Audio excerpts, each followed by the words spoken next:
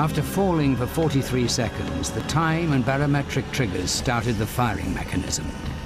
A uranium bullet fired down a barrel into a uranium target. Together, they started a nuclear chain.